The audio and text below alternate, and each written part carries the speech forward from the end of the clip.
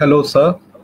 Hello. Uh, thank you for joining in and uh, to all the viewers that we just wanted he need not have any introduction but still i know because many of the people were writing to me that we need him and we need to talk about snake bite and today is the day that we have the person and we'll be dealing with snake bites and lots of them so today we have Professor David Warrell in one of the he's one of the leading world's leading uh, figure in tropical medicine and is the founding director of Center for Tropical Medicine and Wellcome Trust. He has advised, among others, the British Army and the Foreign Office, the Royal Geographic Society, and World Health Organization on the top, top uh, topic of uh, tropical medicine. So I see, uh, and when I'll also let you know that uh, how I was like inspired and motivated by his work. Uh, long back there was this WHO. Uh, I, I, got a PDF when I was searching 10 years back or eight nine year back when I was searching for a little bit of snake bite, and I got a PDF of WHO uh, with all the photographs and graphics of snake bite, and uh, also the the photograph were so graphic that it was just it just shook me. I never thought the dimension of snake bite could be as such. So slowly I thought that something should be done on the aspect on the area that I live in to get some idea of snake bite. But i did not i as of now i, I did not succeed. But i know by setting an example many of uh, the people around india have uh, contacted him over a period of time regarding snake bite. And they did substantial work in uh, snake bite research and helping people survive or go through a snake bite so uh, today we have the person and i hope you people mm, can uh, uh, interact as well and i'll tell you the last 15 minutes of the whole uh, program will be devoted for your questions so if you have any question comments you can uh, just write in in your message box and i'll try to read it to uh, Dr. Uh, David Warrell. And uh, in between, if you if you there is one request that when you are writing down a question or comment, please do it in one single comment not multiple then it becomes hard for us to take and it becomes time consuming so without further ado we'll just uh, have, we'll just greet sir with a very warm good evening for india and i think it's good afternoon in his place. So, sir, welcome and thank you for the time, sir. So, well, thank you, thank you, Jayaditya, for your invitation. And I must start by saying that, uh, of course, you're the in in the world of snakebite. Um, Indians are in the lead. I mean, your doctors for centuries have known yes. more about snakebite than any other part of the world. So um, I had to be persuaded that really you wanted to hear my opinion, but um, I can at least uh, put Indian snakebite in the context of, of worldwide snakebite because I've had the privilege of, of looking after patients in, in four different continents. That's so, um, anyway, very happy to be here. Thank you so much that you gave us the time. So, uh, sir, uh, because uh, I just wanted to know at the very start that, uh, like, uh, uh, once once some uh, doctors when they start their journey and uh, they start with so they have like issues like they want to do specialize in working with heart ailment maybe cancer maybe nowadays uh, most of the doctor upcoming doctor will be more interested in viruses and so on and so forth but uh, most of the time, even in the scenario in um, hospitals and all throughout Northeast India, I can say that doctors are not very well versed with snake bite and what to do, why to do. Because uh, what I see is most many of the bite uh, still stays unreported, uh, and uh, that actually does not give the additional pressure to the government infrastructure that they should learn more about snake bite. So, how did you start off? How did you get interested to do with and even at your time when you started i think that there were even fewer people dealing with snakebite so how did you get motivated and interested towards snakebite well this was purely by chance of course in the united kingdom we only have one species of venomous snake and there are very few bites there but um, when i started to work in africa in the 1970s uh, quite by chance i found that i had a number of snakebite patients coming into my ward And um, I quickly discovered how little was understood about snakebite. We didn't have any ASV in our hospital in northern Nigeria, for example. And um, when I asked the uh, senior doctors, the local doctors, they didn't seem to know anything about snakebite. And this led me to discover just how profound our ignorance was about this primeval medical problem, because snakebite's been a problem of an environmental problem of mankind from, I think, the earliest dawn of civilization. So, despite that, uh, very little is known about snakebite. And um, it was really the, the um, plight of my patients that drove me to start doing research on, on uh, the mechanism of venom action in patients and also, of course, the crucial problem of, de of developing effective and ASV antivenoms. So, sir, uh, since you told at the very beginning that you you uh, did work on four continents on snake bites, so I presume one of these continent is Africa, one is Asia. Apart from Asia and Africa, what are the other two continents, sir? Uh, Latin America and Oceania. So uh, New Guinea, the island okay. of New Guinea uh, in Australasia or Australia and Oceania. So these okay. are the four tropical continents. I've also looked after patients in, in Europe as well, but uh, as I said, the problem is much less severe there.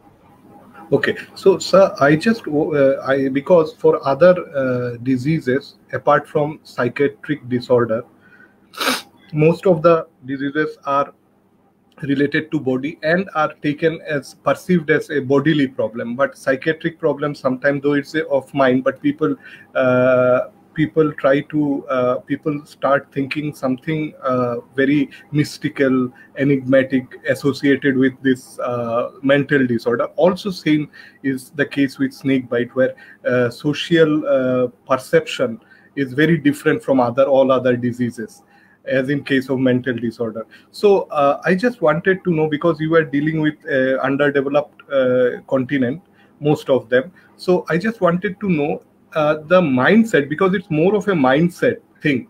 Like uh, even if the people are going to the hospital in right time uh, doctors if they are equipped enough they can save every life i suppose or many of them. But the problem is people are because of the mindset people are not going so in this four continent what are the differences in mindset that you saw in case of snake bites well as you said snake bites uh, snakes command enormous uh, burden of mythological and religious belief, superstition in, mm. in every part of the world, including in, in Europe, uh, where I hmm. live at the moment. Mm. And um, that does uh, affect the attitude of someone bitten by a snake. Uh, many hmm. people believe that a snake bite uh, it means you're going to die very quickly and mm. very, very certainly. Uh, in other cases, the snake bite may be seen as a sort of punishment.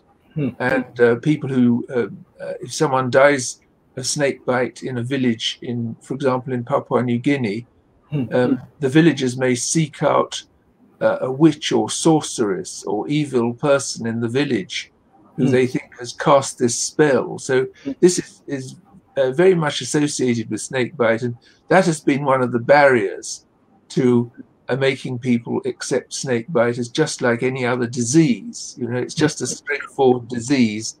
The agency is venom rather than an infection or a, a cancer or something like that. But it's it uh, it should be treated in the same way as any other disease. So, sir, uh, I just want to know because many of people have already messaged me that they also wanted to know. So, in a community level or in a village level, like what did you see like in different uh, region what did you see that the they do after a snake bite? Like what what are the protocols generally in africa what they follow? Asia we know a bit. What about this latin america and oceania oceania? So what, what, what they basically do after a snake bite? Well in every part of the world there is a traditional attitude to snake bite treatment. And for example when i was a, a boy scout in england uh, I was taught in the Boy Scout, Scouts how to deal with a snake bite, and the first aid treatment was very, very wrong by modern standards. Okay. They make a cruciate incision and instill a, um, a crystal of potassium permanganate into the wound. This is terrible advice. And um, so the thing that has in common in all the countries where I worked on snakebite, in all those four tropical continents, a very strong um, uh, belief in traditional treatment. If someone's bitten by a snake, they don't immediately think, oh, I must go to hospital. Um, they may well prefer the tried and trusted traditional therapies based on herbs or other practices um, administered by local doctors. Um, doctors who are very accessible. They may be in the village or in the, in the in the neighborhood, and um, that is the first line of treatment. And it's overcoming that um, attitude to treatment uh, that is one of the barriers to um, uh, implementing uh, modern attitudes to snakebite management. So, uh, uh, sir, like uh, you have been to different part dealing with snake bites, and like this problem you have seen. So, like of all the continent that you have till now discussed and you have worked in, uh, for you, which is the worst hit area in case of snake bite? Well, as far as documented problem is concerned, I mean a country where there are reliable figures, reliable there's reliable evidence indicating the size of the problem, then undoubtedly India, because uh, not only has India been known for historically as the country where uh, the, the local people knew most about snake bite and the, the doctors were most skilled at treating it. Mm. But it's, it's also the country where um, trials have been done, studies have been carried out uh, that have uh, provided a very reliable picture of the true burden of snake bite. And um, so I'd have to put India top of the uh, top of the class, as it were, there. But um, of course, in other countries, there's an unknown problem. So if you look at Africa, there's an enormous country called the Democratic Republic of Congo, which is inhabited by a large number of venomous snakes, uh, a lot of human beings there um, doing rural uh, agricultural activities. And it's highly likely that a lot of people are bitten and die of snake bite in that country. But because of the almost constant state of civil war in mm-hmm. uh, Democratic Republic of Congo for many years now, uh, these studies just can't be done. So um, there's a lot of ignorance about that. But but certainly as far as is the known uh, uh extent of snake bite, India has the, the best data and, and the very strongest reason to to take snake bite seriously.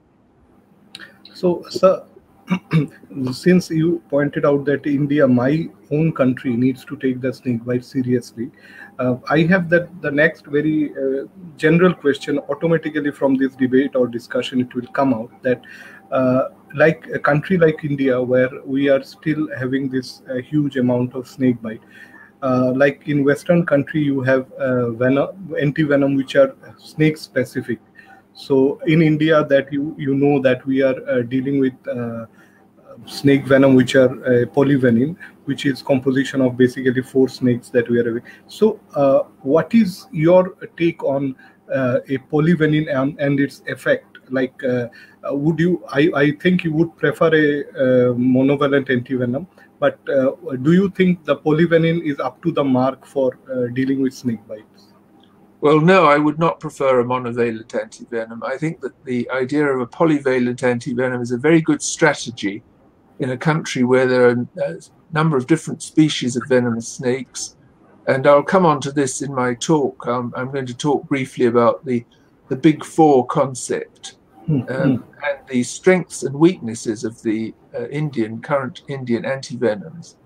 But I'm not against the strategy of having a, an antivenom that covers the uh, most medically important snakes of a particular region. I think that's a very good idea uh, because you can make it geographically specific there.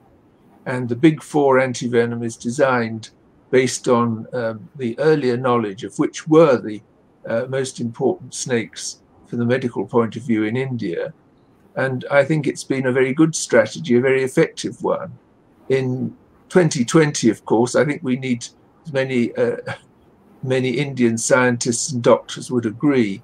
Uh, it's time to review this, to review the design of the Indian antivenom in the light of a great deal of uh, discovery in, in the area of herpetology. And I'm aware that possibly most of the people watching this um, will be snaky people, herpetologists, rather than medical people. And it's really the enormous advances in discovering uh, new species and plotting their geographical distributions within India uh, and also documenting the harmful effects they have when they bite humans uh, that really should stimulate a radical review of the design and production, all aspects of Indian um, ASV. So, sir, before we go on with the presentation, uh, I would like to ask you the last question before the presentation section that uh, when we are dealing with uh, snake bite, and as we have already stated that we are dealing with the snakes, mainly dealing with cobra, elapids, and uh, then vipers. So, and then uh, elapids and vipers, but there is one group that is now getting some recognition is the group which is often referred to as mildly venomous or few of the back fang snakes so, uh, like uh, in India, there is still a debate, like uh, not exactly debate, but uh, how to categorize the venom of uh, uh, redneck keelback, like some of the snakes that are in between, so as to say. So, what do you think about, sir? Because most of the time when we have a snake bite scenario, we have mortality in our mind but there is one more thing which is morbid like uh, we have to like in uh, green pit viper is not too much acknowledged here but in northeast what i see from my field work is that there is lots of bite in the tea gardens related to green pit vipers. And then there is this mildly venomous. So how do you sir uh, in the whole spectrum of snake bite why do you place these mildly venomous snakes? And what is your take on this mildly venomous species? Well there's no absolute distinction between mildly venomous and severely venomous snakes and if you take this fascinating group, the green pit vipers, they're mainly Trimeresurus, but other genera as well, um, if you see enough patients, uh, you will find some severe ones. Hmm. Uh, the the usual, the average effect of a bite may just be a bit of local pain, swelling, and uh, perhaps mild blood clotting abnormalities. But um, the more patients you see, more patients you study, uh, you will start to see more severe effects. For example, acute kidney injury, uh, that is, uh, kidney problems, and fatal bleeds. Um, fatal bleeds associated, for example, with pregnancy and with uh, childbirth. So I don't, I don't accept any uh, absolute distinction. I think we need to learn more about these snakes. All the time, uh, new species are being identified. For example, recently in Sri Lanka, uh, they've got a, a snake there that is is now um, is a Rhabdophis ceylonensis, which hmm. uh, is capable of causing severe life-threatening envenoming, and hmm. that's only recently been recognised. So I think it's up to you, snake people, to hmm. continue your excellent work of documenting the, the snake fauna of India, and uh, also trying, if possible, not just the the range of species, but uh, how um, numerous they are, how they are related, for example, to some of the high risk occupations of snakebite, particularly agriculture. You, mean, you mentioned the tea pickers. There are many occupational uh, risks of snakebite linked with um, particular species. True. Um, I'll give you many examples of that. So uh, I think we, we don't need to close our minds to this. But when we come to design an antivenom, a polyvalent antivenom, we can't put every single venom into it, into the uh, immunizing mixture. We then have to make some distinctions, some decisions made on uh, relative importance. Mm. So clearly, some species will be more important than others, and it may be that it's not it's not necessary to have an antivenom to cover every single uh, venomous species as long as we cover the main ones and we have a, a fallback position so-called conservative treatment, that is, supporting a patient through uh, a, a, uh, an illness of envenoming or envenomation uh, hmm. without using AV, ASV. So, so, sir, uh, so now in this part, what we'll do, sir, I think uh, we have devoted as the first part, we just basic introduction of whatever you do and whatever the global aspect is. So now, uh, can we go to the presentation, sir? Yes, please. Okay. So what we'll do is we'll go to the presentation.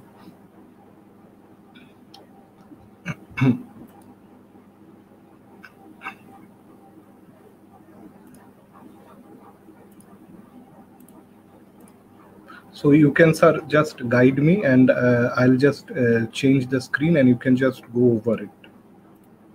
Just give me whenever I need to go over. Yes, so just just to introduce myself, I, I make it clear that I'm a I'm a, a doctor, um, a clinical doctor, uh, as it were, a bedside doctor. Um, I look after patients, and the research I do is based on what I see at the bedside, what I learn from my patients, what I learn from treating them. And um, I realize that many people in this audience today will know a lot about this subject, far more than I do about some aspects, no doubt. But I wanted to try and give, based on what Jayaditya told me um, he thought might be relevant, I wanted to give a, a basic idea just the, the, the, essentials, as it were, the essentials of snakebite. So I'm not going to go into anything in great detail. Um, if it seems to be too elementary, please don't feel insulted. I just want to uh, uh, make it a level that's that's uh, of, of, interest and is understandable to a, a wider range of people, uh, not the sort of medical people I, I usually speak to or try to teach. So, so that is what we want, sir. Mm, good.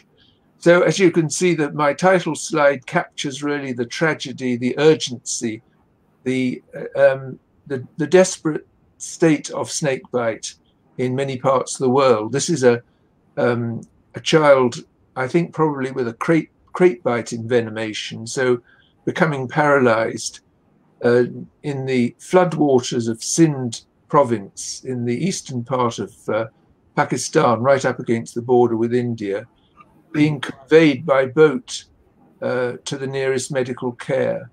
And it doesn't look good. The child's condition looks very bad. I think it's probably dying of paralysis of its breathing muscles. So this is a very horrible and tragic case, but I think it puts together in one picture um, many of the uh, challenges that uh, motivate doctors to try and do better for patients with snake bite, and it should motivate us all, uh, snake enthusiasts, to uh, teach people more about how to um, prevent snake bite by understanding more about the snake behavior. Next, please. Yes. So this is very elementary background. Uh, there are uh, four important families of medically important snakes. Uh, two of them are major families, the Viperidae, which includes the Old World vipers, uh, featured in this book by um, uh, that I contributed to a few years ago, and the pit vipers. And in India, you have both um, non-pit vipers and pit vipers, the Viperinae and the Crotalinae. Then the second uh, very important major family are the elapids, which include Asian specialities such as cobras, kraits, and um, uh, and so on. And in other parts of the world, in Africa, there are mambas. In the Western Hemisphere, coral snakes.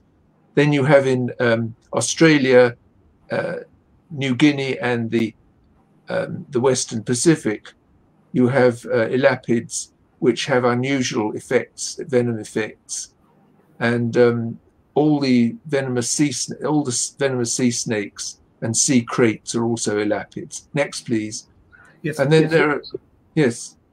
Yes, sir. So in between, I'll just uh, ask you one question that comes to my mind. Like you just told, the inf- uh, infestation or the uh, the way the, the, impact of venom is seen. So do you see across the geographical range throughout Africa and Asia, do you see any change in the uh, toxicology of uh, elapid bite? Like in cobra, in case of Africa, do, is the manifestation little different from that of Asian cobras? There are similarities and there are differences for example, in Africa, uh, spitting cobras are very important. Um, yes. they, they produce unusual clinical effects rather than causing paralysis, like the mm. little child with the krait bite I showed you in my first slide. Uh, they don't produce paralysis, but they do cause local tissue destruction or gangrene around the area of the bite. Um, on the other hand, there are other cobras in uh, Africa, such as the Cape cobra, that are, mm-hmm. have an extremely paralytic venom, uh, just like the classic effects of uh, Indian cobras. Um, so uh, there is there is geographical uh, diversity, uh, but some similarities. Okay, sir. Should I go to next slide, sir? Next one. Okay. And these are the two minor families. Um, you may not know much about the Atractaspididae. These are the burrowing asps or stiletto snakes or side-stabbing snakes. Uh, recently, I published a book, a monograph on this fascinating group with, with my colleague Scott Weinstein. Um, and they're, they're confined to Africa and the Middle East. And um, they have uh, a, a, unique venom toxin uh, which affects the heart and blood vessels in a unique way, which I, I might mention later. And then the second group, the ones that uh, mentioned a few minutes ago, um, they're now put together in this with this blanket term non-front fanged snakes rather than back fanged snakes. I used to call them back fanged snakes, but it's been pointed out to me by uh, Scott Weinstein that it's really um, more precise to say non-front fanged. Uh, and this includes some extremely dangerous snakes in Africa, such as the boomslang and the twig snakes, the um, uh, and Thelotornis. But um, in in Asia, there are some dangerous ones. The uh, in Japan and Korea, they have the the um, um tigrinus. that's right, the Yamakagashi yes. uh, Rhabdophis tigrinus. And in Southeast Asia, in fact, in Thailand, where I was working, and in uh, Myanmar and other countries, um, there's Rhabdophis subminiatus, both of which are capable of causing fatal um, envenoming. Um, so, uh, and South America has a number of, of uh, dangerous uh, non-front fanged snakes. But the two, the two families I've mentioned on this slide are far less important. Uh, you could really forget about them if you like, unless you lived in, in Africa. Next, please. So, sir, before again, I have one more question. Like, uh, why why did you like over a period of time till in uh, our place in India we are still using the uh, term uh, back fang. So why did you alter it from uh, back fang to the uh, non front fang? Like, what is the rationale behind it? Well, the term back fang was because most of these snakes have their enlarged venom injecting teeth at the back of the maxilla. Mm. But um, in fact, the maxilla may be uh, positioned very far uh, forward in the jaw. So mm. uh, many back fang snakes actually have their fangs quite at the front of the mouth. Okay. It just depends on the length of the maxilla. So this is a perhaps a, a rather academic and semantic point, but uh, Scott Weinstein prefers non-front fanged snakes. Okay, great. I understood. Yes, sir. This the next. Slide. So we to understand snake bites and to under and to appreciate more the extraordinary, the miracle really of evolution of venomous snakes and other venomous animals, uh, we must know something about the the nature of venom. And please forget immediately the idea that venom is just a single dangerous, noxious chemical substance. It's not. It's an extremely complex mixture. Um, most snake venoms have more than 100 different uh, toxic proteins and other compounds, and some have very many more than 100. So we're dealing with an extremely sophisticated and advanced sort of venom. By the way, venoms are poisons that can be injected. You notice I won't be using the word poison because poison's uh, something that uh, does you damage if you swallow it, mm. uh, like strychnine or arsenic, um, or some of the dangerous plant poisons of, of Asia, for example. Uh, no, uh, venoms are natural toxins that are injected through the skin. So, um, amongst these proteins and polypeptides are enzymes. You know, they're biological catalysts. They promote certain um, uh, damaging uh, reactions or processes. And some of them um, are tissue damaging. These are probably the digestive enzymes, as it were, the snake's saliva helping it to digest its prey. And some of the most important of these uh, um, digestive enzymes are phospholipases, A2 metalloproteinases, which also damage blood vessel walls, causing bleeding, and hyaluronidase, which causes spreading of the venom through the tissues. Then a second group cause these very important blood clotting problems um, that uh, make patients bitten by vipers particularly uh, liable to severe, even fatal bleeding. Um, these are enzymes that promote certain steps of the body's blood uh, activate blood clotting activation cascade or series of reactions. And then a third very important group lower the blood pressure. And those of you with an evolutionary mind will be thinking about the relevance of these enzymes in, in the, the natural process of venom action, which of course is not a snake trying to cause a human being some harm. It's a snake trying to get its uh, catch and digest its prey, its natural prey. We must always remember that uh, that the effects of, of venoms in humans are not, as it were, intended in the process of evolution. They're a horrible accident, uh, which often results in the death of perhaps both the snake and the human being. Um, then there are the smaller molecule polypeptide toxin, toxins, and the most famous are the neurotoxins, which cause paralysis. And uh, uh, the, these harmful effects um, are caused by actions at the what's called the neuromuscular junction, where the nerve ending meets the muscle.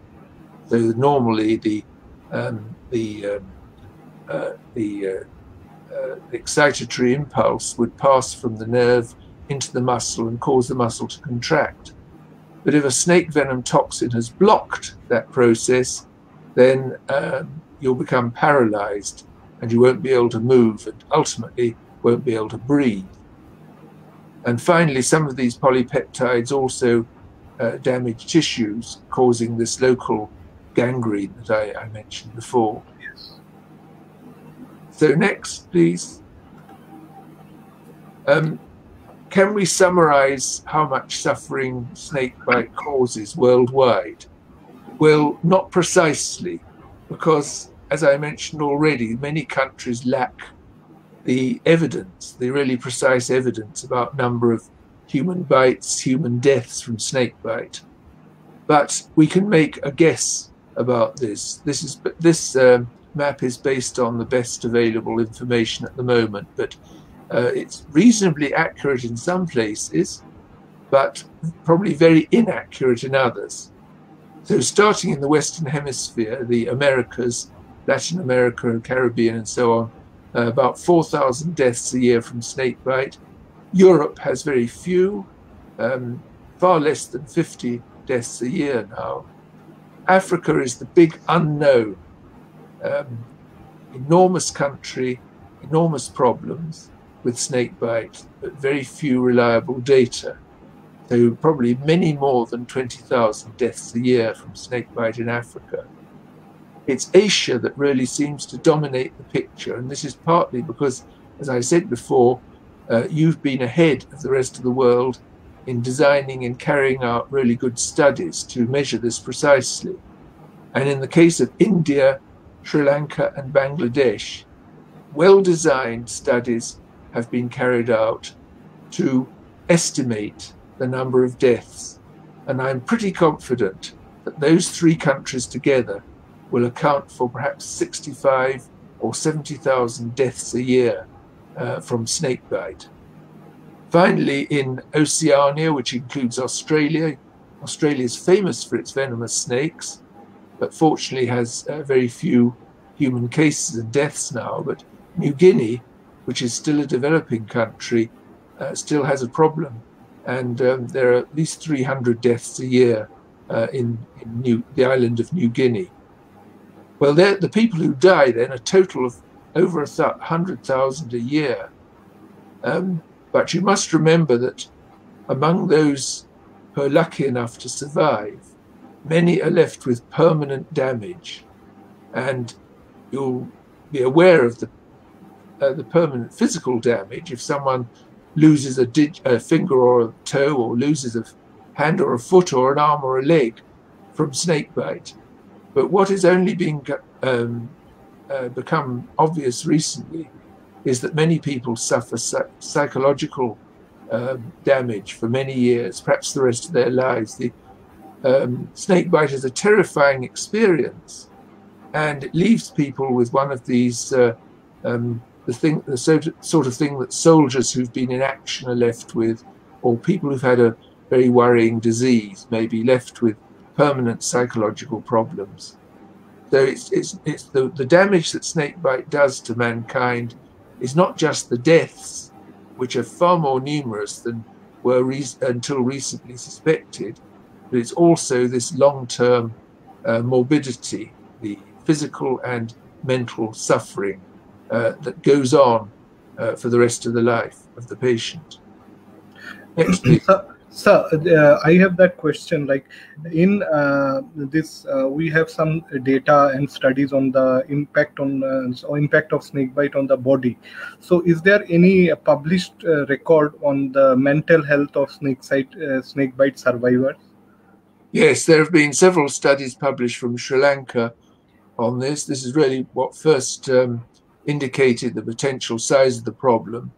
These are quite difficult studies to carry out because in questioning survivors from snakebite, um, it's very difficult to not to put the idea in their mind that they may have had a bad experience and are still suffering from it. You have to be a very clever psychiatrist or experimental psychologists to de- design the right sort of questions that will um, truly reveal this person's long term uh, damage, psychological damage from the uh, the event of the snake bite rather than something the questioner is putting into their mind, if you see what I mean. True, yes, I can understand. So this is concentrating on India and um, a study which I hope many of you have heard about because uh, it's been very well publicized in India, thanks uh, largely to my, my colleague uh, Rom Whitaker, who's really spread around the the, this uh, recent publication on eLife magazine or journal.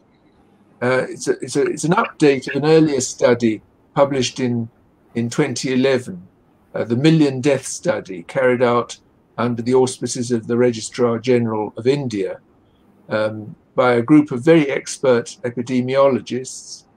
Um, they are people skilled at designing uh, studies to uh, reveal the the frequency of a particular disease. In fact, this particular study was designed originally to look at tobacco related diseases in India. But having put the structure in place, we were able to persuade them to look at snakebite as well. And the, I'm not going to go into more detail about that, except to say that this latest update that was just published less than a month ago uh, suggests that there are between there are over a million snake bites a year in India, but even more shocking, during a period of 20 years that the study has been running, there have been 1.2 million snake bite deaths in India.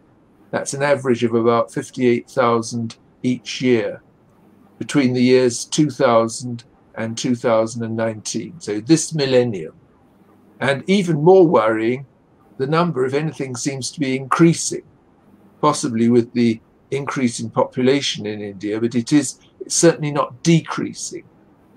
So that's a pretty massive figure and difficult to, to, get to grips with. Um, it's interesting that 70% of these deaths occurred in just eight states, which I've listed down the right hand side, uh, one to eight. Um, and um, uh, you see that 50% uh, of them occurred during the rainy season and 50% at lower altitudes. And I'll show you a picture of that in a moment. So the risk of dying from snakebite before the age of 70 in India is about 1 in 250. Well, if like me you have difficulty in relating these sort of figures to uh, real probability, it's still a, a frighteningly high uh, likelihood that you will die of snakebite. And I think these figures have been a wake up call, not just for India, but actually for the whole world. It's really been the publication of these two studies in 2011 and now 2020 that have led to a complete reassessment of the importance of snakebite as a major global public health problem. Before that, people would always laugh it off and, and think you were some sort of uh, mad person if you talked about snakebite when there are so many other important killing diseases in the world. But the, these studies really put it in its right perspective. So next one, please. And just uh, uh, to, to, look in a bit more detail, this science of epidemiology really answers the question, how often does a disease occur? Where does it occur? And how does it happen? What are the circumstances of this disease occurring? In the case of snakebite, this is self-evident, I would have thought. It depends really how often a snake meets a person. Uh, this interaction is crucial, otherwise you wouldn't have any snake bites. It's the circumstances that bring people and snakes together, one place, one moment, that are crucial. And it also depends on the, if you like, the personality of the snake. And some of you herpetologists may not like me using that term for snakes, but irritability, how likely is a snake to strike? Because there's a great deal of difference between different species. I've worked a lot with saw scale vipers, Echis, in many parts of the world, and I would call them extremely irritable. Get anywhere near them and they start uh, grating their scales together and striking. Um, and if you can imagine, if you put your foot or hand too close to a saw scale viper, probably in the dark, uh, you're very likely to be struck other snakes, and the classic example is this giant rainforest uh, viper from Africa, the Gaboon viper, which has the world's longest fangs, by the way, two and a half inch long fangs. You can pretty well tread on a Gaboon viper and it won't strike you. So this is a, I think, a very uh, uh, one of the important variables in the likelihood. So snakes like Russell's vipers and saw scale vipers, very irritable and likely to strike. Um, another factor is the uh, are the daily and yearly uh, or seasonal cycles of human and snake activity. Clearly, the farmer's year in the sort of rural areas of India where snake bite is so common is dictated by the climate, uh, when he can plant his crops and hope them to hope that they will germinate. And as far as the snake is concerned, uh, there are also cycles of activity to do with with reproduction and uh, I suppose with temperature and so on.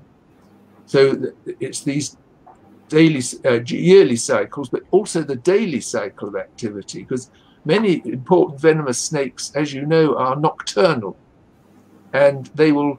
Uh, I'm surprised to see when I used to keep uh, venomous snakes, to see how some of the kraits I was keeping would become hyperactive at night if I went into the snake house after dark, whereas during the day they would be hidden away. So, I mean, you know much more about this than I do, the, these cycles of activity are important because they determine when a human being is likely to come in contact with a snake. And finally, on this slide, uh, slide, this very important factor of climate. Climate is to do with annual uh, variations in temperature, um, rainfall, and resulting flooding. And you see there a picture from the million death study that I referred to earlier. Um, along the horizontal, which unfortunately you can't see, are months of the year. No, and, we can see. You can see. Okay, I can't see. Um, along the vertical are snakebite deaths uh, in the study. And you'll see that the peak of, of deaths, that is the solid um, black line, uh, is with the monsoon during the monsoon months, which is, of course, the time of greatest rainfall. And this is typical of so many parts of the world that snakebite peaks during the rainy season. It's not just because of flooding, by the way, it's also because of human activity, because that's when, in many countries, farmers will go out into the fields and start to plant when the rains start. Yes. Next one, please. and uh, look at the map over on the right there. The dark green uh, areas of India are those below um, 300 meters in elevation. Uh, the dark green areas, so around the edge and the north, along the, um, you can see there along the northeastern border of India. Um, these areas below uh, 300 meters, and you'll see in the picture above that sort of glowing yellow, that's the mm. density of population. Uh, so these are all also the areas of densest human population. And in the graph, uh, you see that uh, below the elevation of 300 meters, that's on the horizontal axis, 60% of the deaths in the million death study occurred below an altitude of 300 meters. So it's, it's partly altitude, but of course, altitude determines which species of snake, it will determine human agricultural activities, and it also will determine density of human population. So all these variables come into play in uh, determining how uh, common uh, snake bite is. Next, please. So some other factors, I, I mentioned snake and human behavior. Um, so the uh, cycles of activity of snakes to do with hunting, of course, and mating. And as far as people are concerned, a whole lot of activities that are likely to bring people into contact with snakes farming, building projects in areas of virgin jungle, travel, pilgrimage. Pilgrimage, uh, pilgrims often walk early in the morning when it's still dark and in uh, barefooted because it's a, yes. a sacred ground, and they may become victims of snake bite. Uh, sleeping on the ground is one of the this is one of the great um, nightmares, I think, of, of living in South Asia, mm. is that if you choose to sleep on the ground at night because it's nice and cool, um, you may be bitten by a night prowling krait uh, searching for its prey. Um, and um, if you roll over in your sleep, and we know that this happens at times of night when people are having nightmares, most likely be having nightmares and tossing around in their sleep. Mm. So if you roll over onto the snake, you may be bitten. And um, so that's a particular problem. Um, uh, snake handling, uh, human beings have this, something irresistible about snakes, even though they're feared. And um, you also have the problem of snake restaurants, people gathering leather from snakes, snake performers, snake charmers, and so on, religious aspects of snake handling, and scientists, you herpetologists, of course, your enthusiasm uh, puts you at very high risk, although I would hope your knowledge uh, protects you, your knowledge of snake behavior uh, protects you. Um, then there are toxinologists like me who are interested in the venoms. And the final group are children uh, uh, could we have the next slide, please? Because I think this says it all. This this picture, which I took in, in a village in Nepal, in the Terai region of Nepal, um, showing first of all the figures from the Million Death Study, in India, the highest proportion of deaths from snakebite is in the age group 5 to 14 year old. And no fewer than 3% of all deaths in India uh, were due to snakebite in that age group. This is astonishing. But looking at that picture, you can see how this happens. Of course, they've discarded their shoes immediately, although they don't look very substantial shoes. And they're playing around as children do. You'll never stop that in the undergrowth. And uh, they're um, inquisitive and playful. And that's how they are exposed to venomous snake bite. And that is why they suffer so badly from snake bite. Next, please. Now, the most important thing of all I could possibly tell you, uh, and I know uh, for a fact that many of you are deeply involved in in um, prevention programs, so uh, I'm not talking down to you, but prevention is the most important aspect of snakebite because it's the most uh, realistic way of reducing risk, most affordable, and it's the most effective. We know that. Um, and this is achieved through community education. So we need people, particularly those in snake uh, bite areas, uh, high risk states of India, for example, to learn to recognize the local medically important species uh, and avoid them. Uh, they need to be um, persuaded to avoid snakes at all costs. The sort of habitats which are very high risk for snakes, uh, very popular, in other words, for snakes, uh, and these would very much often involve paddy fields and areas of woodland and uh, areas by uh, rivers and so on, um, and high risk activities and we know what they are. They're very often to do with agriculture. So unless you have to be in those places, and of course, uh, farmers have no choice, uh, they can't avoid the paddy fields. Um, avoid those areas if you can. And two key things here are to work and to walk more safely. And you can do this by using protective clothing. Um, we know that most bites occur in nature um, in the lower leg or feet. And if only people could wear some form of protective um, footwear, uh, the number of snake bites would be dramatically reduced. And I know all the reasons why people don't wear uh, footwear in hot climates, and there's expense, there's discomfort, and so on. And frankly, you can't transplant paddy in a flooded rice field wearing boots. I realize that. I'm not so naive. But um, nonetheless, uh, the, there should be a big effort to persuade agricultural workers and others to wear protective footwear. And here's just one example on the right there. My colleague in Myanmar, uh, Dr. U Tun Pe, has developed a lightweight boot which was acceptable to farmers, um, particularly during the harvesting season when a lot of the bites occur. Uh, it wasn't too, they weren't too heavy, not too sweaty. And as you can see, this volunteer Russell's Viper is mm-hmm. quite unable to penetrate the boot, even though it's been offered incentives, probably a mm-hmm. few rats or something. It cannot penetrate the boot. So that's one very positive thing and uh, also for people for for plantation workers who are picking fruit, um, some sort of hand protection. And at night, use a light, and uh, that's much more practical these days because there are cheaper long life batteries mm. and so on.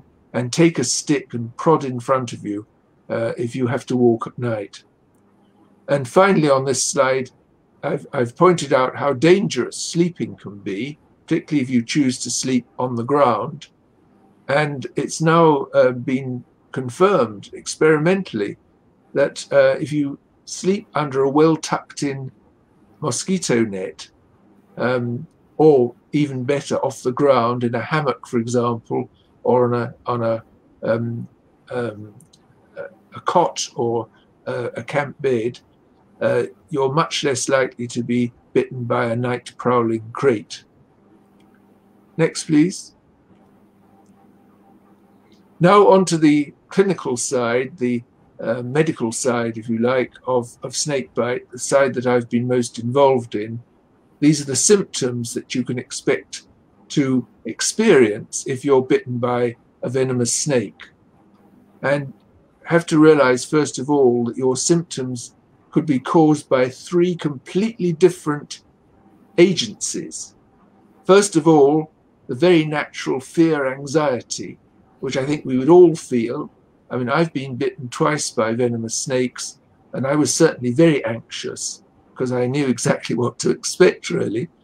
Um, so the effects of anxiety and fear can can uh, have have extraordinary effects. For example, they can make you breathe more rapidly, more deeply, so that you may become light-headed, you may faint, you may get tingling of your fingers and toes, you may even get spasms called tetany, spasms of your uh, wrists and ankles. This is all the result of fear driving your breathing, making you blow off carbon dioxide. And also, they make people do very stupid things like chopping off their bitten finger or something, um, or resorting to crazy treatments. So it can cloud judgment as well as having these uh, psych psychological and physical effects. That's just anxiety and fear. The second thing, and this goes back to uh, Jayaditya's earlier question about how do people normally react to snake bites in areas where they're very common, uh, rural areas, it's very often traditional treatment and um, uh, which which can cause their own symptoms. For example, if you apply a very tight band round your limb, a tourniquet uh, or a ligature, um, the limb may become very painful, uh, very cold, and if you leave it on too long, of course, you can kill the limb. Uh, you can cause gangrene just by that tight band. Um, but uh, making incisions, electric shocks, uh, ice packs, um, instilling uh, drugs uh, and um, herbs, for example, um, all these traditional treatments uh, can have their own effects. So that's a second cause of symptoms after a snake bite. And then the third one which is the obvious one that we're all interested in, the effects of the snake venom itself. And there's a problem with language here. You may have seen these two different words. Envenomation uh, was very much used in the American literature, and some Australians use it. Uh, the English word is actually envenoming. But it doesn't matter which word you use. I've used them both during this talk so far. These are the effects that snake venoms have when they're introduced into the human body. They cause envenoming or envenomation. But having said all that, do remember what the, the sentence below, which is very important about dry bites. About 50% of all bites by venomous snakes inject no venom at all. And that is not understood yet. Some people think it's defensive bite. The snake thinks I'm not going to waste my venom on this guy. Um, others are much more uncertain. I personally think it's more to do with the mechanical efficiency of the bite, which, after all, is not delivered as a snake would deliver a bite on its prey. It's delivered in a, in a split second when the snake is trodden on or picked up in a handful of rice or uh, something like that. But anyway, whatever the cause, this is the fact. On average, about 50% of all bites um, are dry bites. and that's a very good uh, basis for reassuring people who are bitten by snakes not to get too hysterical about it. They may be lucky. Uh, of course, the dry bite rate varies between different species.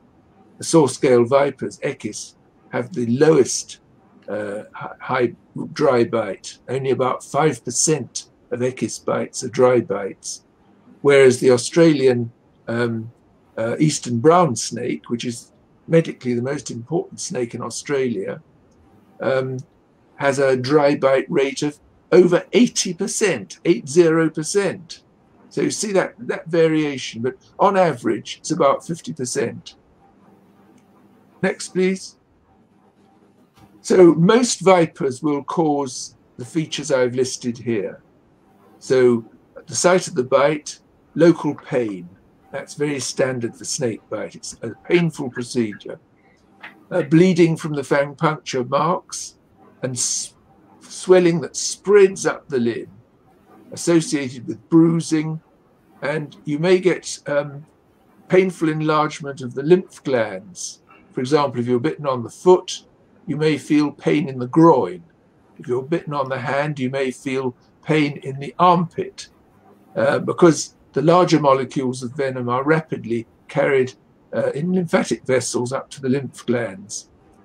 Then you may also get blistering, um, formation of large blisters or bullae, um, and tissue damage, including gangrene.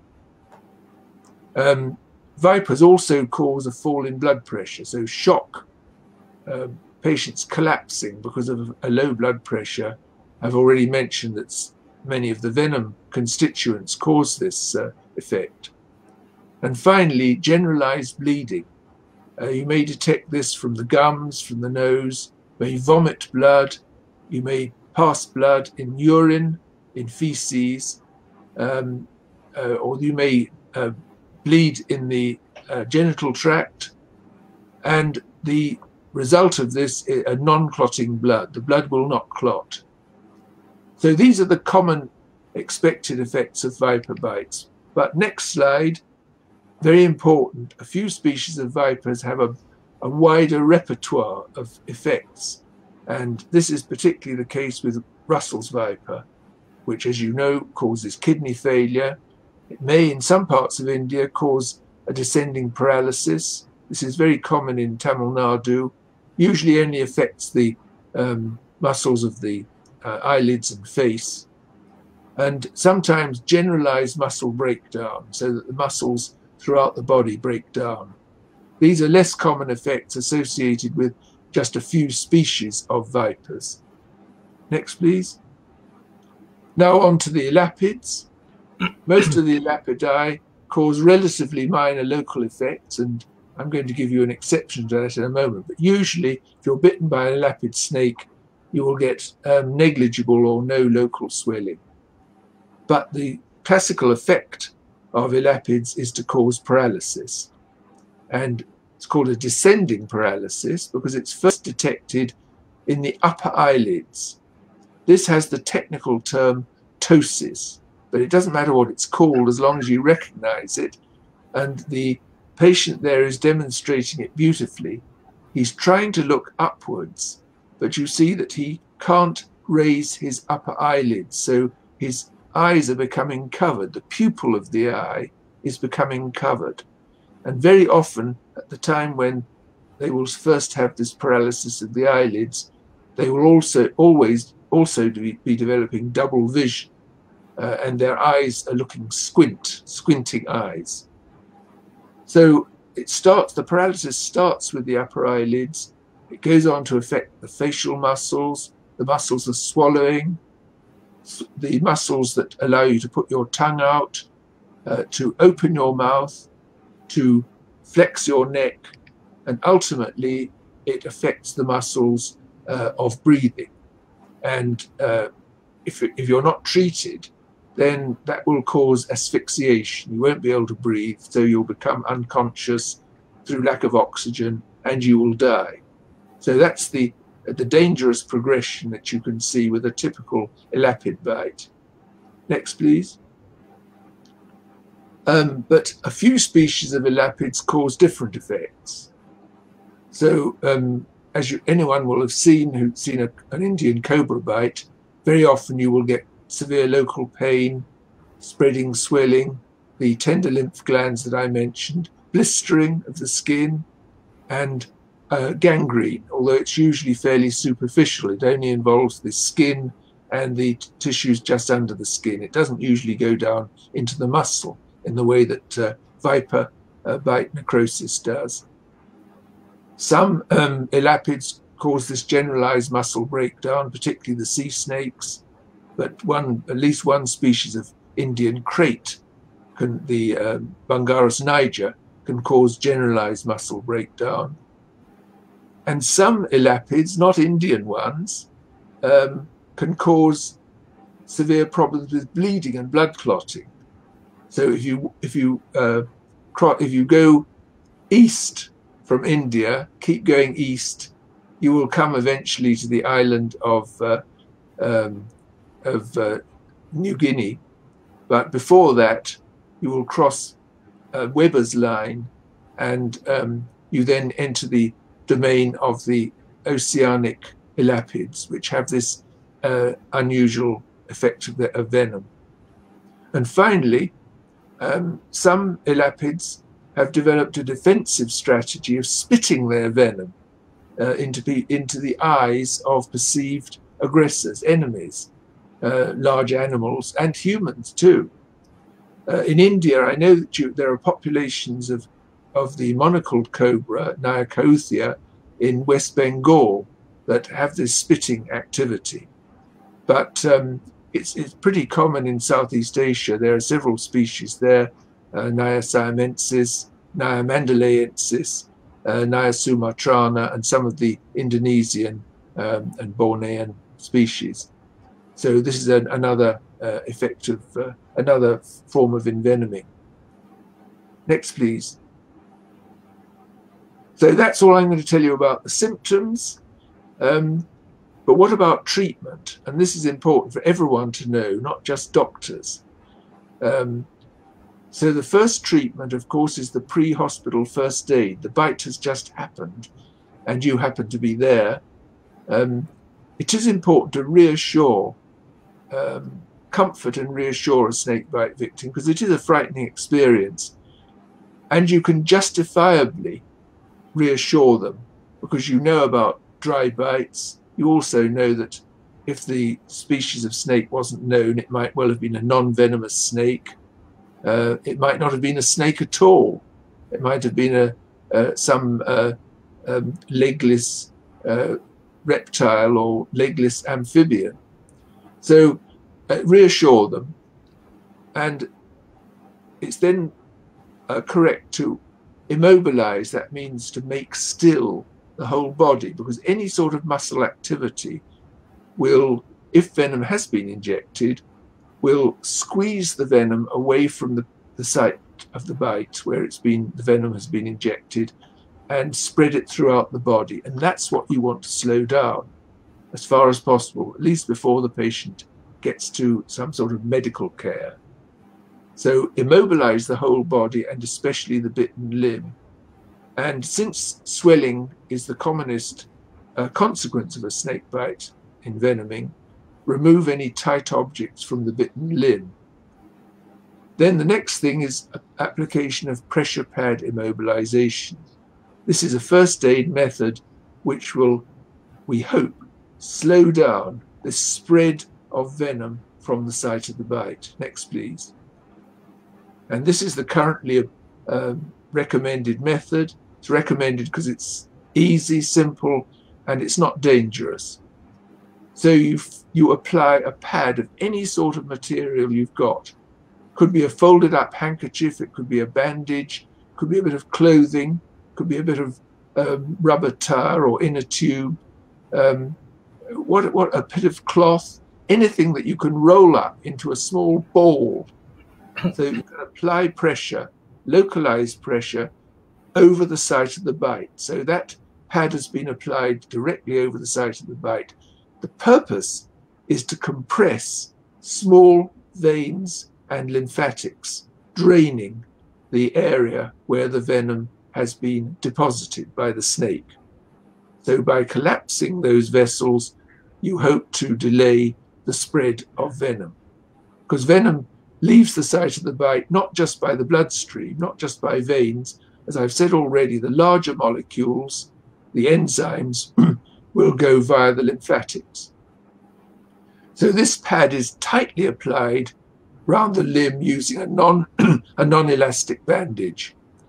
And the final step is to splint the limb, as you can see there with a bit of wood, so that the patient can't move because all move, all movement must be discouraged and prevented. So that's the simple compression pad immobilization method. Uh, more work needs to be done on this first aid method, but the preliminary evidence um, suggests that this method is effective in reducing the leakage of venom from the bite site into the general circulation and delaying the onset, the development of life threatening effects, such as breathing paralysis or fatal shock, for example, at least until the patient has had time to be taken to medical care in a clinic or hospital. Next, please. So, transporting the patient to medical care can be a massive problem. Although I am aware that in India there are some tremendous efforts now to improve ambulance services and also the ease at which you can summon, you can call for an ambulance help if you've got a snake bite. Um, but in many parts of the world, this is one of the major problems getting the patient to hospital. And it must be done as safely and as passively as possible. I mean, passively, without the patient uh, moving more than is absolutely necessary. Um, ideally, the patient should be lying on their left side. That's called the recovery position. So that if they do vomit, which is quite common after snake bite, you tend to feel sick and start to vomit up your stomach contents. If you're in the recovery position, you're least likely to inhale that vomit to, to block your airway. The next point preventing early death um, during the uh, the trip from to the hospital. Um, you want to prevent death from shock or obstruction of the airway or paralysis. Um, you want to avoid any harmful time wasting treatments.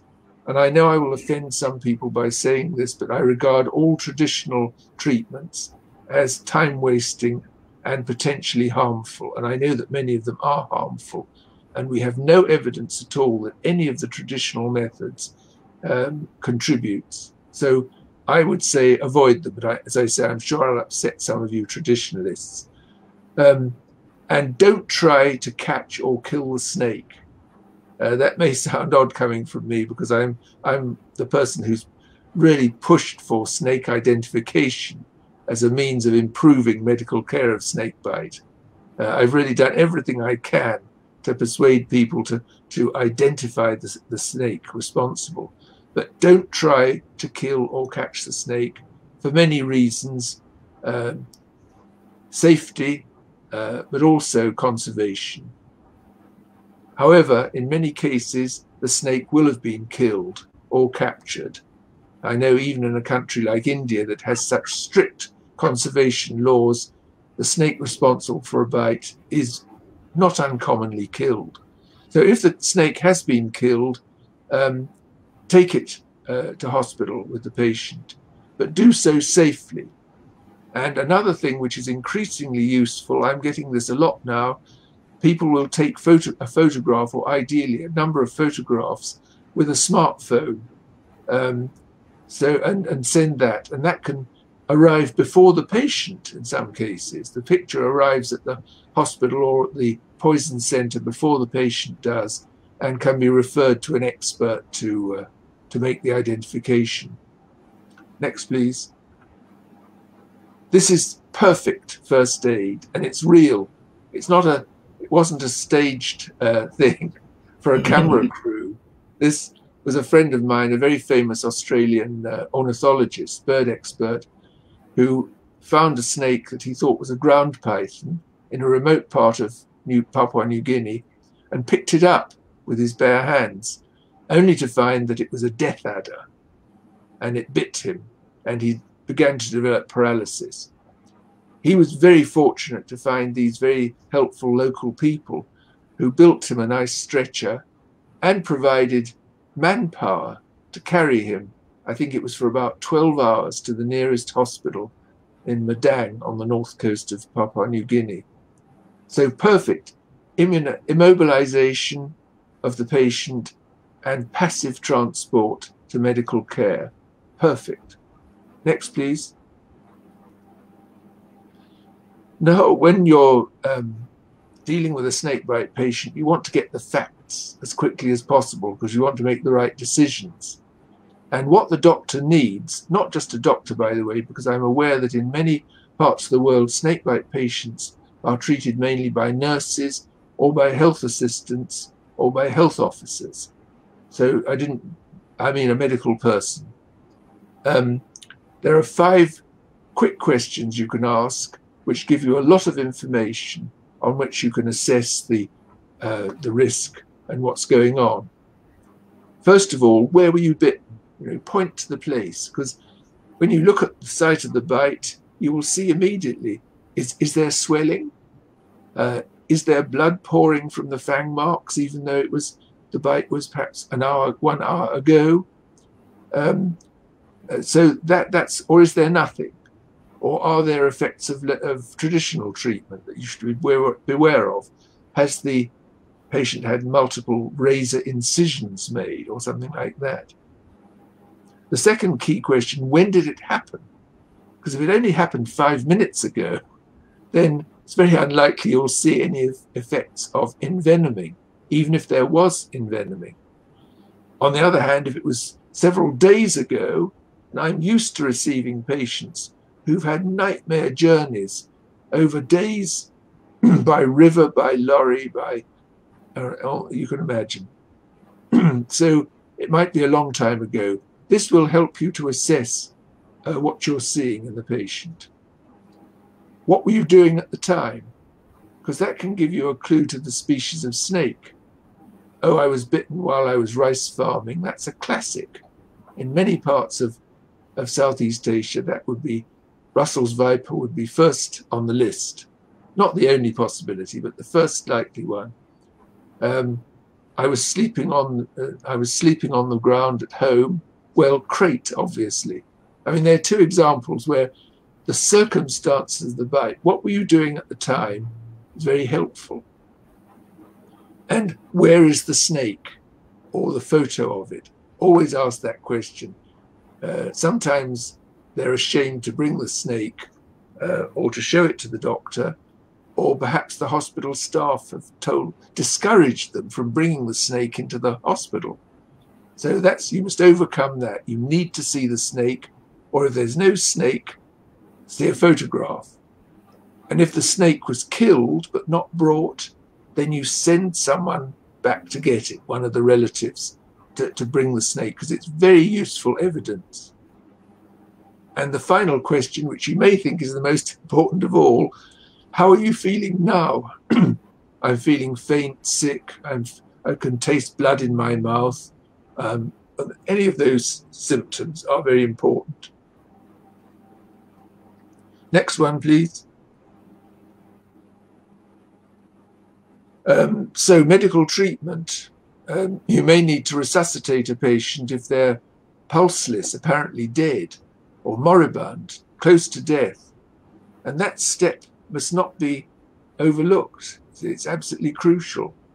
And um, so often in some in some hospitals, patients are not patients with snake bite are not treated in exactly the same way with the same urgency as other patients. I'm sure this doesn't happen in India, but I've seen countries where, um, oh, just another snakebite patient. You've got to realize the patient may be on the verge of death and you can do something about it. So the simple rules, any, I'm sure some of the audience have been trained in um, resuscitation. So compression, airway, breathing are the crucial things.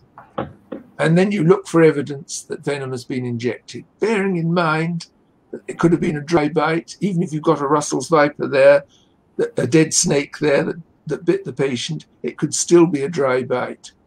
So look for evidence of envenoming. The common ones would be local swelling uh, and a low blood pressure or evidence of paralysis and obvious bleeding. Next one, please.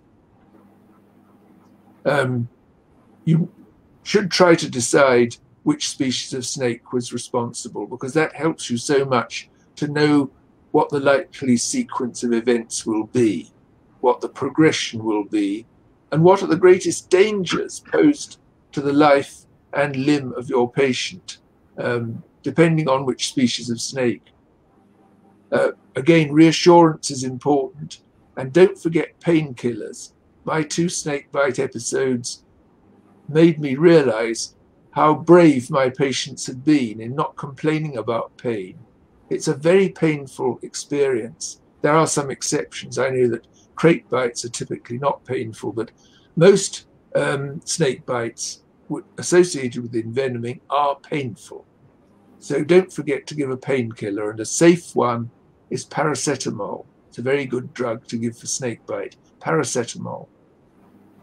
Then the medical person will need to make a very important decision.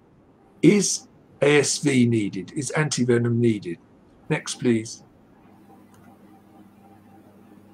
So, what are the problems? Going back to our earlier discussion, what are the problems with Indian polyvalent antivenom or ASV? Um, it only covers the big four. And the solution to that problem is that, as I've said earlier in this, this session, it should be redesigned now to cover perhaps others, other of the Indian cobras and kraits and perhaps pit vipers, particularly the hump-nosed pit viper, which we know is a very dangerous snake. It's confined to the Western Ghats region, but it's, it's very dangerous. And I'm not at all certain that the other pit vipers are harmless. Um, mm. There are individual cases of, of severe envenoming, um, and particularly when you move towards the extremities of the country to the north, the northeast, uh, where uh, Jayaditya comes from, um, there, there are some very formidable pit vipers there.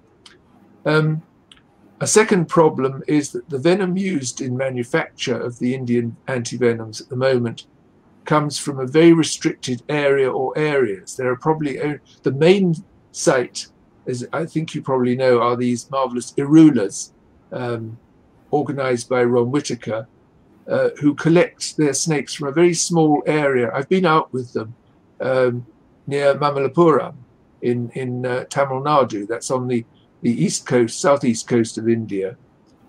And it's highly likely that the venom of the big four species collected there are not fully representative of the range of toxins or proportion of toxic elements uh, of those same big four species in other parts of India, because this geographical variation in uh, venom composition has been very well uh, documented now in India. Um, so the solution to this problem would be to use venom from snakes collected from several different areas of the country. Another big problem with ASV is that it causes many adverse reactions possibly fatal in some cases. And this needs to be addressed by improving the manufacturing process and purification. So India can be proud that it was one of the first countries to produce ASV in the early years of the 20th century. Um, the trouble is that it hasn't, the, the process of manufacture have not been reviewed since then. It needs a tremendous um, uh, spring clean, if you like, or uh, need re re-examination, revision. Um, finally, and this is my particular area of interest, not just in India but worldwide, the safety, effectiveness, and dosage of antivenoms, ASV, is unknown. You won't believe that. You'll think, what is this crazy man saying? We've been using this for over a hundred years. That is literally true. The sort of clinical trial evidence, the sort of medical evidence, experimental evidence that has been applied to every other drug used in medicine, antibiotics, blood pressure pills, everything like that, has not been applied to antivenoms. They have been neglected for over a hundred years. They've been uh, very, very few studies have been done. And so I would repeat, we know very little about the safety, the effectiveness, and the optimal dosage of Indian polyvalent antivenoms. And although many of my marvelous medical colleagues in India have vast clinical experience, which enables them to use uh, doses which they, they, they feel almost certain are effective. That is still the correct statement. And antivenom deserves, ASV deserves the sort of clinical trials and studies that have been done in other diseases. Well, we're nearly at the end now. Next one, please. So, treatment of complications. I've already mentioned the patient may not be able to breathe. They'll need a mechanical ventilator. Um, just like severe patients with COVID 19, their lives may be saved by uh, respiratory support, circulatory failure, kidney failure, and wound infections. And the surgeon may need to be called in to deal with gangrene, to do surgical removal of dead tissue and skin grafting. And the, the general rule for medical treatment of snakebite is keep the patient under observation for 24 hours, uh, even if they've got no signs and symptoms initially, because sometimes the effects of envenoming can appear very late. For example, I've seen krait bite paralysis develop after nine hours after the bite. Um, so the only situation where I think you can let a patient go from hospital earlier than 24 hours is if you've got the dead snake or the photograph and it's definitely non-venomous. Again, this is an area where you herpetologists can be so helpful. You can give an authoritative um, diagnosis of a non-venomous colubrid or um, uh, sand boa or something like that. Next, please. Um, when the patient is ready to leave hospital, that's not the end of the story. You need to try and restore normal function by physiotherapy, and you must educate the patient so that they don't come back in again next week with another snake bite. This is elementary, but it's often not done. And it's a marvelous opportunity when the patient's in hospital to educate the patient, patient's family, and friends about reducing the risk of, of further bites. And you should arrange to see the patient again in case there are any long-term complications. Next, please. So um, very briefly now, the challenges. Um, Jayaditya, have we have we gone over time? Should I stop now? Eh, no, sir. It's brilliant. You can, if you are comfortable, we are very happy to listen to you. Okay, but tell me if I'm getting close to the limit because I I can see I've been going on for quite a long time. No problem, uh, sir. So the, these are some of the challenges to the prevention and treatment of snakebite in the community.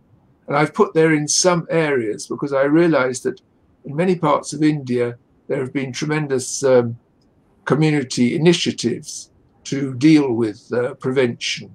And I've just illustrated one on the right from, from uh, West Bengal, an initiative that is rolling on uh, and is doing a very good job of community education. So there's a strong belief in traditional remedies and home cures, um, and a great confidence in village based practitioners. In some countries, these are monks or priests, even. Um, this is understandable, but it's not desirable because it delays travel to hospital. And uh, I've seen many patients who spent uh, several days even with a traditional therapist before their condition deteriorated to such an extent that the traditional therapist panicked and uh, sent them to hospital. The second thing is that the the remoteness of some of the snakebite hotspots um, in remote rural areas, they're distant from clinics and other medical establishments. and um, this hinders people's access to medical care if it's going to take you hours and very difficult, expensive journey, particularly at night, uh, to get to medical care, that's going to discourage the, the journey. And um, a lack of enthusiastic advocates and educational networks can also prevent community education. So, not all parts of India are equally enlightened about the importance of community education. Next, please. In the case of um, challenges to prevention and treatment in, in hospitals, again, it only applies to some cases. Um, so in some areas, there's an inadequate health system. Um, I've already mentioned ambulance services. Uh, and again, I should say there have been excellent initiatives in many parts of India and other parts of the world. And you see illustrated on the right there a marvelous idea uh, developed by my colleague, Dr. Sanjeev Sharma, in the Terai region of Nepal, of getting volunteer motorcyclists, village based volunteer motorcyclists, to take patients, snakebite patients, uh, from areas where there are no roads. And this method's been used in other parts of the world, not just for snakebite, also for, for evacuating obstetrical uh, childbirth uh, emergencies too. And again, this is a genuine picture. It's not a, a fake. Um, this is a, a young boy who's got early paralysis from a cobra bite. He's being taken by motorbike. The pillion um, passenger is his father. He's keeping him upright. It's, it's quite a good position uh, for this evacuation. And the volunteer village based motorcyclist is driving him to the nearest first aid clinic. And uh, introducing this system in this region of the Terai uh, reduced the case fatality of snake snakebite. So it, it is proven effective. Um, inadequate training of medical staff is a common problem. Inadequate supplies, medical supplies, uh, particularly of ASV, or inability to store it because it doesn't have a, a unlimited tolerance to high temperatures. Um, the absence of intensive care facilities, well, that's very common in many parts of the world, particularly ventilators. This inadequacy is being highlighted now in the COVID 19 epidemic as well.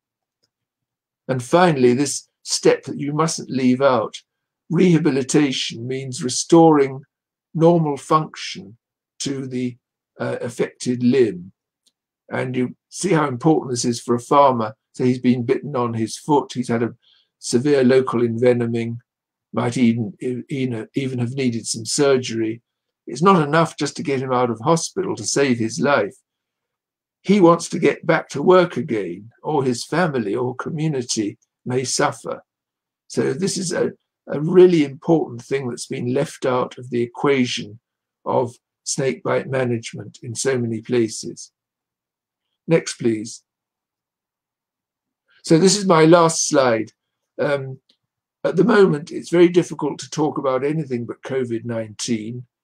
In India, at this moment, you're suffering the most uh, rapid escalation of cases. And in UK, we've suffered very badly indeed. And we're still not out of the problem. So, COVID 19 is obscuring all other diseases. Research on everything else has stopped. And patients are very often discouraged from going to hospital uh, unless they have symptoms suggestive of COVID 19. So, this is a real crisis.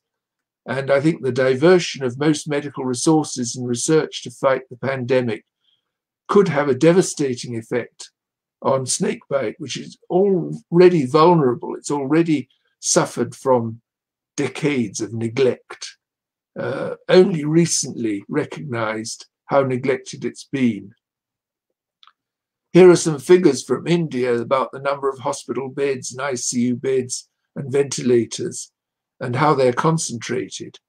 Uh, in eight of the uh, seven of the eight higher burden states, which I listed in an earlier slide, um, there are very few of these uh, resources.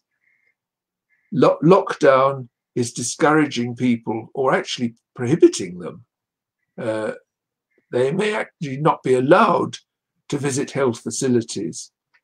And I think that all this will uh, add up to a predictable rise in excess snakebite deaths. That is, I've already mentioned that India has perhaps uh, 58 to 60,000 snakebite deaths a year, increasing year by year. I think that there may be an excess of snakebite deaths on top of that as a result of the COVID 19. Um, I've got no solution, I, there's no simple solution to that, except that those of us who feel strongly about snakebite must keep our voices loud, keep our protests. We must maintain the profile of snakebite. And at our local level, we must do our best because it's very much going to be down to local initiatives now to make sure that snakebite patients have the best possible uh, chance of reaching medical care and that all the systems that I've discussed this afternoon or this evening about prevention of snakebite won't be completely forgotten. And we'll go back to the state we were in before, where there's nothing else, there's nothing done about it. So sorry, yeah, Aditya, I've spoken for much too for far too long, uh, because I always get carried away when I'm talking about snakebite. but uh, uh, thank you for your patience.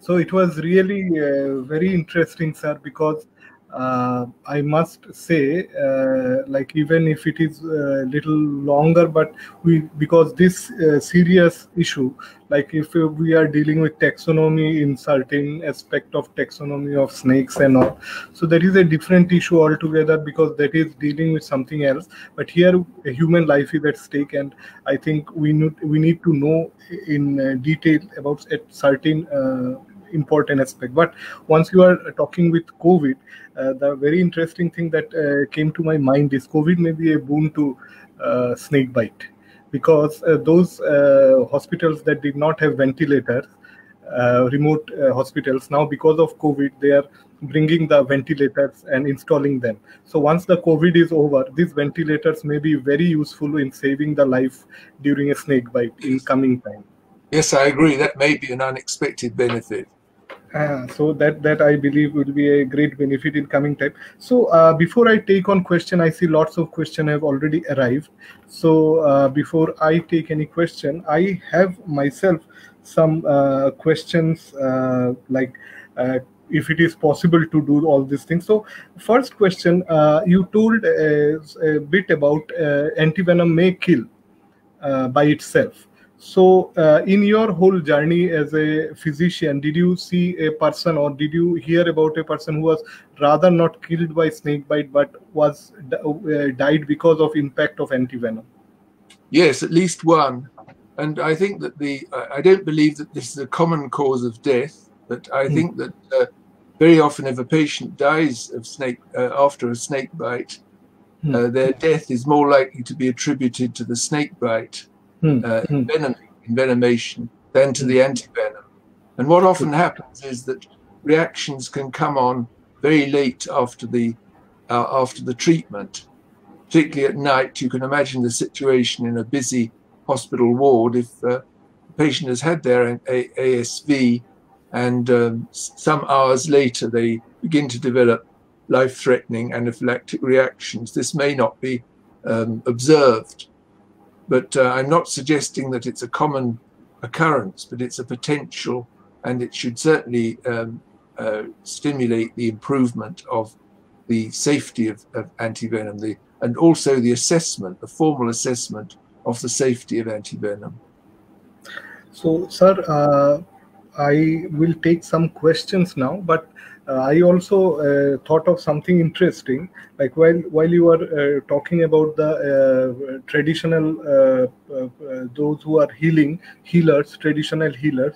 So I think we are if we conduct some awareness program with traditional healer of uh, different villages and bring them to one umbrella so that uh, they can pipeline or they can streamline the patient through their channels because most of the patient will go to them in many cases. So i think there can be a very good uh, awareness program can be organized for those traditional healer who then can uh, streamline the patients to the main hospital and so and so forth.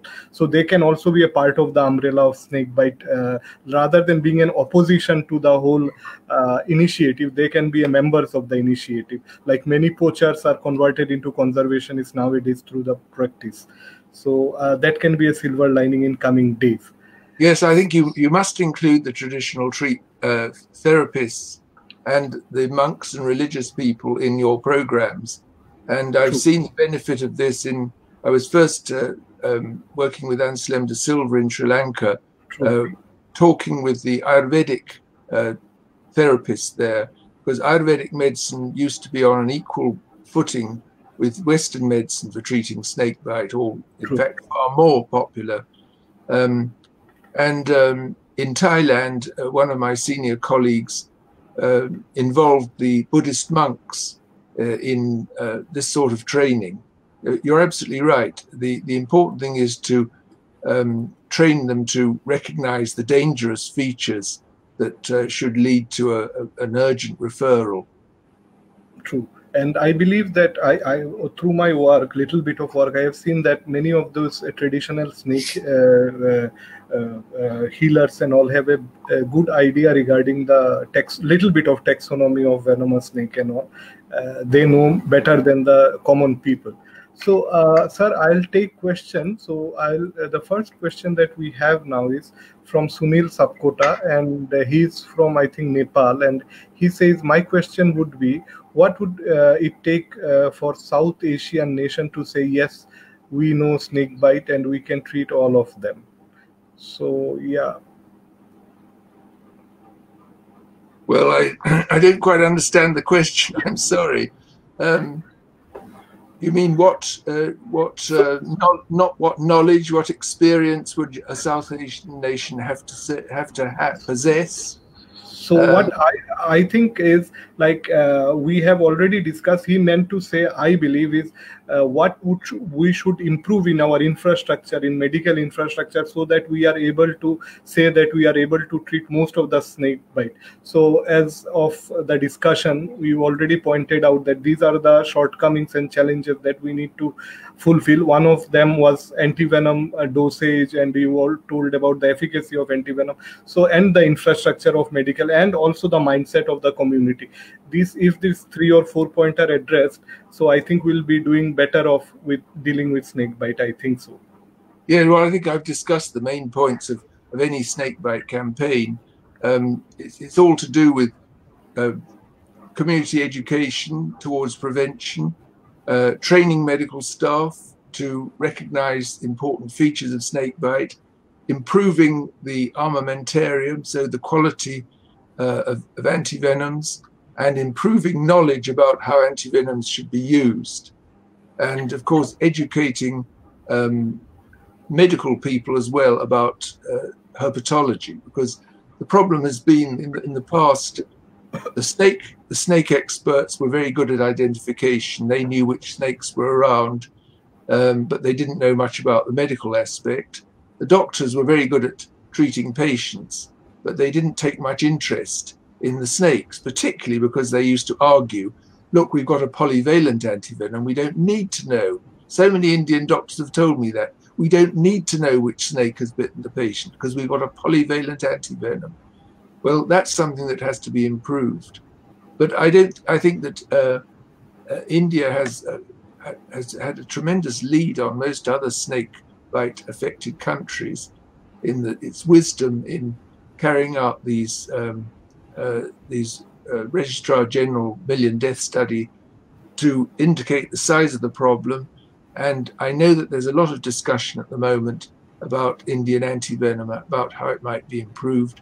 I believe that the Ministry of Health is being uh, approached and is will take an interest in this subject uh, after many years of, of, of, not being particularly interested in snake bites. So I think things are improving in your country. True. Uh, so uh, uh, thank you, Jigme from Bhutan. He is also watching. Thanks for watching. Uh, then we have a doctor from Assam, uh, Surajit Giri. He has some specific question and uh, the question has not come as a full but uh, it says green and golden pit viper in our area. I mean that uh, Trimeresurus group he is mentioning. In our area causing progressive swelling involving 2 to 3 joints severe pain and coagulopathy till 9 to 12 days in our last 25 patient. For severe pain and swelling we inject 10 vials of asv and then observe. We have witnessed coagulopathy till 9 to 12 days. Okay, no swelling, no pain, but only coagulopathy. We do not inject AVS. We just observe them for 9 to 12 days and we witness blood uh, coagulation. Till now, patients are safe without kidney, kidney injury. We closely observe them. So I think it is his observation that he just shared with you. Uh, well, I'd like, to, I'd like to say that you should not use uh, Indian polyvalent ASV for uh, confirmed uh, pit viper bites. Is, is, this Trimeresurus insularis? Which species is it? No, yeah, here we are. In, we do not have. Uh, in in uh, northeast India, the pit viper that uh, we generally encounter are uh, Trimeresurus erythrurus popeiorum, and then that's the new species Salazar, Trimeresurus salazar. he, he said green and golden. Uh, green, green means uh, the Trimeresurus green means all this Popeiorum and uh, and uh, Medoensis and all these are the green. And the golden one is the new one, which I think what he means is Salazar is the golden color. Uh, anyway, uh, this is this is the important point I want to make that hmm. the current Indian ASV polyvalent hmm. has no activity against the venom of Crotalinae of pit vipers. Hmm. And so if you give antivenom to that patient, hmm. all you're giving them is risk of a dangerous reaction. You're not hmm. giving them any chance of benefit. So it's it's thoroughly bad medicine and you shouldn't do it. And if they, if they have coagulopathy, you have to treat the coagulopathy conservatively. So if the patient began to bleed badly, or for example, if they needed surgery or they're about to give birth, you would need to give blood clotting factors uh, to support them through that crisis. Otherwise, the right thing to do is to keep them immobile in bed. And as you've observed yourself, the coagulopathy resolves uh, within a matter of a week or so. But antivenom is definitely not uh, appropriate for that sort of patient. So, uh, one of the biggest uh, takeaway from this discussion that I felt was this sentence and that most of us and i have myself encountered a very close near and dear one being given uh, anti-venom in case of pit viper bite. And i as i told you these garden areas of northeast india there are lots of pit vipers and most of them are given polyvenin so uh, that's the biggest i think um, take home thing is to not to uh, give antivenom or uh, polyvenin for a green pit viper bite. So uh, just uh, we have to treat symptomatically apart from that i think what's uh, just now said. So uh, next is like i think human invade the ecosystem okay that's not a question. That's okay thank you rincon for your suggestion. uh, Priyanka uh, says, uh, Priyanka Kadam says, Dear sir, many reports of children dying in snake bites are coming from across the country. So you are right, children are exposed to say, yes, thank you. So that's an observation. Uh, uh, a follow-up question, I think this is a follow-up question from, again, Dr. Surojit Giri. Why neurotoxin affect the cranial nerves early than peripheral nerves? What is the earliest neurotoxic feature? I think that is ptosis, as you said. I don't know, but it was uh, or okay inability to swell. In uh, two uh, krait patient bite, we have witnessed first patient complaining swelling difficulty followed by ptosis. However, we uh, he recovered with prompt and aggressive treatment. Well, it's a very fascinating neurophysiological question. Why the um, uh, levator uh, palpebrae superioris muscle, the upper lid muscle, should be the most sensitive to. It's not just to snake venom neurotoxin, also to um, the autoantibodies of myasthenia gravis and to botulinus toxin. This is going to get very technical and medical. There is an explanation. It's to do with the anatomy, the structure of the neuromuscular junctions serving the uh, levator palpebrae superioris muscle and the safety factor there's a very low safety factor there because of the, the structure. If he'd like to email me, I can send him some learned papers, but there is a very plausible hypothesis to explain this. And it's nearly always the case that the that uh, ptosis is the earliest sign. And I think it may be sometimes if you think that the another neurological sign is earlier, it's because the ptosis has not been uh, properly tested for or observed earlier. It has to be formally tested. So uh, we uh, we have we have almost come to the end of this session, and uh, we have taken all the questions. So uh, I'm really very thankful to you. Actually, what I believe it's uh, the, this discussion should have been like a two-part series rather than one part because we can talk more about it, and many people are still uh, interested in uh, talking about this. But because of the limitation, and we have way crossed over the time, and I uh, believe that you are you are now a little bit having problem of talking with so like one and a half hour uh, like two hours almost. So sir i would like to take the opportunity from all of us uh, here who are watching this and will be watching in coming time. And so thank you very very much. And uh, this was really impactful. At least one sentence that was the most impactful was that anti-venom related to green pit viper that we I we most of us did not know here, and uh, the bite regarding green pit viper is very high. So I hope, sir, in coming time, apart from talking, we from Northeast India can also contribute through your uh, through your and all of your colleagues and co-workers support and uh, uh, help that we can start up something of our own for Northeast Indian infrastructure. I hereby, through this program, request all of us who are interested in this uh, so that we can form a umbrella structure rather than working separately uh, in their own areas where we can have a data exchange program and know more about the behavior of venom of northeast snakes of northeast india and share the knowledge and get input from experts like sir so that we are better equipped for the next year or coming time. So, with this word, I will again uh, thank you, sir, for your time, and I hope in coming time uh, uh, we can have a follow-up discussion when I come up with some results from Northeast India for you to see. Thank you so much, sir. Well, thank you very much for giving me this opportunity, and uh, I've learned a lot from the the discussion and from uh, interacting. And I very much like, if anyone has any specific questions, if they could route them through uh, Jayaditya, uh, I'd be very happy to give answers if I can. Surely, sir, I will take the question. I also request you to just, you can just mail me the question and I'll uh, provide it to sir and get an answer wherever it's possible and revert back to you. So, uh, thank you all of you for uh, being here and thank you again, sir, for giving the time thank you all of you and have a very good night. And stay safe stay home. That's the main catch line of the series because we are in a very bad situation in covid uh, scenario because this is yesterday we had the highest number of covid cases for india for the whole season. It's 55000 yesterday. So stay safe. Thank you sir. You to take care of yourself and uh, have a good great night. Bye bye maybe bye. we'll bye bye sir and we'll be meeting you maybe with some other expert in some other field and discuss and continue with this series. Thank you. Bye. Thank you. Bye sir. Bye sir